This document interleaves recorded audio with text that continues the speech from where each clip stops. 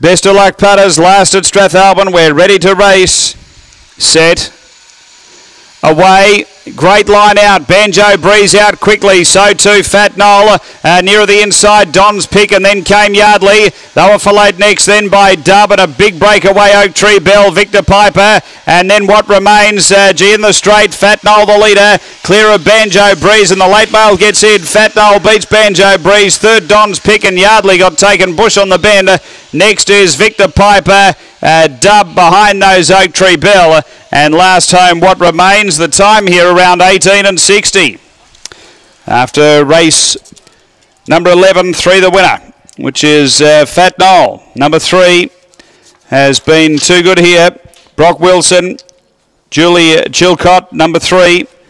Fat Noel, a black dog, December 2013. Nolan, uh, Fatima Blush, number three, second to one. Banjo Breeze, John Little.